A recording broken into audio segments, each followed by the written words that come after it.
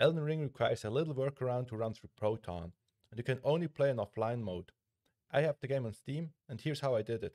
Open up the game directory, and then rename the Start Protected Game EXE to anything you want. Then rename the Elden Ring EXE to Start Protected Game EXE. You find different versions of this on Reddit, but it's unnecessary to duplicate the Elden Ring executable. Of course, you can rename the files in your UI, but I put the two commands into the video description should you feel exceptionally lazy today. When you fire it up for the first time, you may see the frame time graph go crazy. Don't mind that. In my case, this corrects itself in a minute or so. I flipped display mode back and forth a bit.